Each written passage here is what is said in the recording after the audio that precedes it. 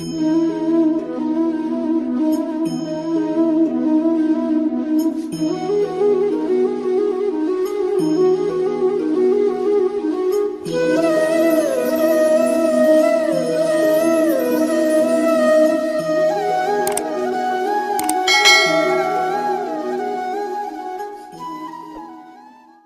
Friends जय Shri Krishna and welcome back to Laddu Gopal कृपा channel तो friends, जैसे कि आप लोगों ने थंबनेल में देख ही लिया होगा, आज की हमारी वीडियो है जो जन्माष्टमी में धनिए की पंजीरी बनाई जाती है, उसकी रेसिपी पर।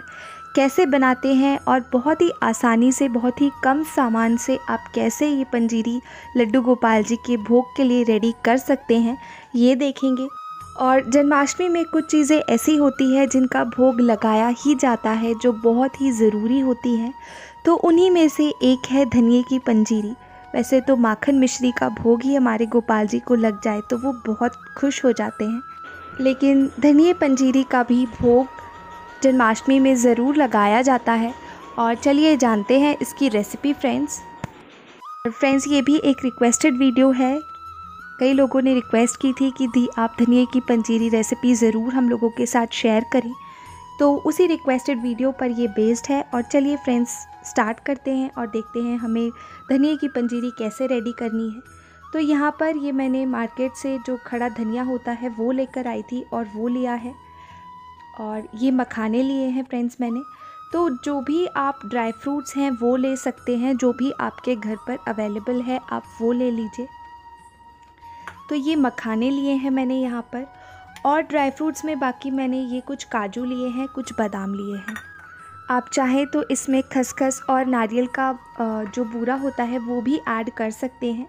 ये शुगर है, फ्रेंड्स, मैंने वाइट शुगर नहीं ली है, मैंने ब्राउन शुगर ली है। आप वाइट शुगर भी ऐड कर सकते हैं, इसमें कोई प्रॉब्लम नहीं है। मैं वाइट शुगर यूज़ नहीं करती, इसलिए मैंने नहीं ली। और ये घी जो हम यूज़ करने वाले हैं, जो हमारे ड्राई फ्रूट्स हैं, उसे रोस्ट करने के लिए, उसके लिए लिया है। तो चलिए फ्रेंड्स अब हम स्टार्ट करते हैं और देखते हैं कि हम धनिए की पंजीरी कैसे बहुत ही आसानी से और कम सामान में रेडी कर सकते हैं। तो यहाँ पर मैंने कढ़ाई गरम कर दी है। गैस का फ्लेम ऑन कर दिया है फ्रेंड्स और अब मैं ऐड कर रही हूँ घी। तो यहाँ पर मैंने दो टीस्पून जो है, वो घी ले लिया है। आप जितना ड्राई फ्रूट्स ले रहे हैं रोस्ट करने के लिए, उसके अकॉर्डिंग आप घी ले सकते हैं। मैंने यहाँ पर कम ही ड्राई फ्रूट्स लिया है क्योंकि मैं प्रसाद बाद में बनाऊँगी। ये सिर्फ़ आप लोगों की रिक्वेस्टेड वीडियो पर मैंने शेयर किया था, इसलिए मैं ये रेसिपी शेयर कर रही हूँ। तो देखिए फ्रेंड्स घी हमारा गर्म हो चुका है। अब हमने जो ड्राई फ्रूट्स लिए थे, उसे हम अच्छे से रोस्ट कर लेंगे। तो जो भी ड्राई फ्रूट्स आपने लिए हैं फ्रेंड्स उसे आप काट लीजिए बारीक और उसके बाद हमें गोल्डन ब्राउन होने तक उसे अच्छे से रोस्ट करना है। तो यहाँ पर ये काजू और बादाम मैंने लिए हैं। तो मैं इसे एक साथ मिक्स करके रोस्ट कर रही हूँ। आप चाहे तो अलग अलग भी रोस्ट कर सकते हैं। और गैस का फ्लेम मैंने अभी स्लो रखा हुआ है ताकि ये जले ना। जैसे ही इसमें गोल्डन ब्राउन कलर आ जाएगा, ये अच्छे से रोस्ट हो जाएँगे। तो मैं इसे निकाल लूँगी और बहुत ही अच्छी खुशबू आ रही है फ्रेंड्स इसे रोस्ट करते वक्त। तो बस मैं इसे एकदम स्लो फ्लेम में अच्छे से रोस्ट कर लूँगी और उसके बाद मैं इसे निकाल लूँगी। तो देखिए फ्रेंड्स हमारे जो ड्राई फ्रूट्स हैं वो गोल्डन ब्राउन हो चुके हैं। बस मैंने गैस का फ्लेम जो है वो ऑफ़ कर दिया है और ये ड्राई फ्रूट्स जो है वो मैंने एक बाउल में निकाल लिए हैं। तो ये देख सकते हैं आप। ऐसे ही आपको करना है फ्रेंड्स, अगर आप और भी ड्राई फ्रूट्स ऐड कर रहे हैं तो आप उन्हें भी फ्राई कर सकते हैं। मैंने यहाँ पर ये ले लिया है। इसमें आप इवन गोंद जो होती है, वो भी फ्राई कर सकते हैं साथ में। उससे भी बहुत अच्छा टेस्ट आता है। ये देखिए फ्रेंड्स, ये मैंने ड्राई फ्रूट्स फ्राई कर लिए हैं। और यहाँ पर बहुत ही कम क्वांटिटी में प्रसाद अभी धनिए का बना रही हूँ। सिर्फ़ आप लोगों से रेसिपी शेयर करने के लिए, इसलिए मैंने अभी कम लिया है। ये मैंने मखाने लिए हैं फ्रेंड्स तो ये अभी साबुत मखाने हैं. इसे आपको क्या करना है, वो भी मैं शेयर कर देती हूँ.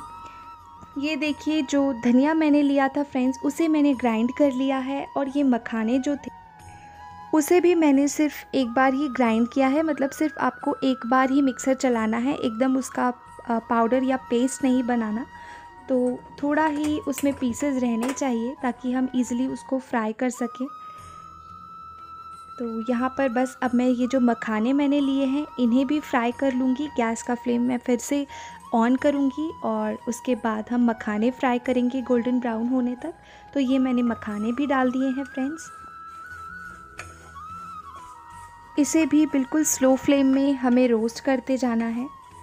आप चाहें तो बाद में और भी घी ऐड कर सकते हैं, अगर आपको लगता है कि घी कम है तो फिर आप और घी ऐड कर सकते हैं। तो ये देखिए, मैं इसे रोस्ट कर रही हूँ फ्रेंड्स स्लो फ्लेम में ही हमें इसे रोस्ट करना है और वेट करना है इनके गोल्डन ब्राउन होने का. तो ये देखिए friends almost golden brown colour आ ही चुका है. मखाने अच्छे से रोस्ट हो चुके हैं. तो बस अब हम ये भी निकाल लेंगे अलग से एक प्लेट में और उसके बाद आप देखेंगे यहाँ पर मैं एक टीस्पून और घी ऐड कर रही हूँ. घी हमें बस इतना ही ऐड करना है, अब जिससे जो हमने कढ़ाई ली है, वो हमारा उसका जो बेस है, वो थोड़ा चिकना हो जाए। तो मैंने घी ऐड कर दिया फ्रेंड्स उसके बाद ये जो धनिया मैंने ग्राइंड किया था, वो डाल दिया है। देखिए। तो ये सारा धनिया मैंने कढ़ाई में डाल दिया और गैस का फ्लेम अब एकदम स्लो है और एक मिनट बाद मैं गैस ऑफ़ कर दूँगी। तो ये देखिए, अब इसे हमें अच्छे से मिक्स कर लेना है। ताकि जो घी हमने ऐड किया था, वो इसमें मिक्स हो जाए। और इसके बाद फ्रेंड्स जो हमने ड्राई फ्रूट्स लिए थे, वो मैं इसमें ऐड कर दूँगी। और अब मैंने गैस का फ्लेम कर दिया है ऑफ़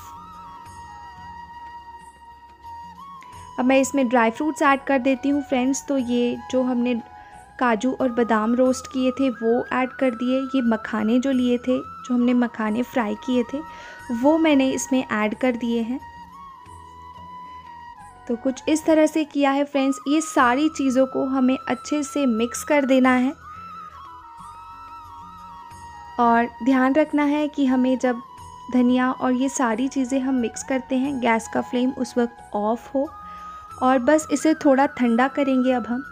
और ठंडा हो जाने के बाद जो चीनी मैंने ली थी, आप चाहें तो शक्कर का बूरा होता है, वो भी ऐड कर सकते हैं। कई लोग इसमें चिरौंजी भी ऐड करते हैं, मिश्री भी आप ऐड कर सकते हैं। तो बस इसे ठंडा होने के बाद जो चीनी मैंने ली है, वो हम ऐड करेंगे। तो चीनी हमें लास्ट में ऐड करनी है फ्रेंड्स, जब ये थोड़ा ठंडा हो जाता है। क्योंकि अगर आप गर्म जो धनिया होगा और गरम हमारा ये जो पूरी पंजीरी होगी इसमें अगर आप ऐड कर देंगे तो वो पानी छोड़ देगा और फिर पूरा स्टिक होने लगेगा। इसलिए जब हमारी पंजीरी जो है वो थोड़ी ठंडी हो जाए और ये मिक्सचर पूरा ठंडा हो जाए, उसके बाद हम इसमें शुगर ऐड कर देंगे। तो यहाँ पर ये मैंने शक्कर भी ऐड कर दी है फ्रेंड्स आप चाहें तो शक्कर का बूरा भी ऐड कर सकते हैं। ये देखिए, नारियल का बूरा भी आप इसमें ऐड कर सकते हैं। और इसमें मैंने एक और चीज़ ऐड करी है फ्रेंड्स, जो मैंने स्किप कर दी है। धनिया पाउडर में ही मैंने थोड़ी सी सौंठ डाल दी थी तो वो सौंठ से बहुत अच्छा टेस्ट आता है। और देखिए, बस इसे ठंडा होने दीजिए और ये हमारी धनिए की पंजीरी बनकर रेडी हो चुकी है। बहुत ही टेस्टी लगती है फ्रेंड्स, बहुत ही ज़रूरी होता है जन्माष्टमी में लड्डू गोपाल जी को इसका भोग लगाना। तो आप लोग भी जन्माष्टमी में ज़रूर बनाइए। और अपने लड्डू गोपाल जी को इसका भोग लगाइए। और होप जिन्होंने ये वीडियो की रिक्वेस्ट करी थी फ्रेंड्स उन्हें ये रेसिपी पसंद आई हो और इससे आपको हेल्प मिली हो। अगर वीडियो पसंद आई हो और आपको थोड़ी भी इससे हेल्प मिली हो तो प्लीज़ वीडियो को ढेर सारा लाइक दीजिए, अपने फैमिली फ्रेंड्स में ये वीडियो शेयर कीजिए और कमेंट सेक्शन में मुझे ज़रूर बताइए कि ये रेसिपी आप लोगों को कैसी लगी। तो चलिए फ्रेंड्स फिर मिलेंगे हम एक न्यू वीडियो के साथ। टिल दिन बाय जय श्री कृष्णा।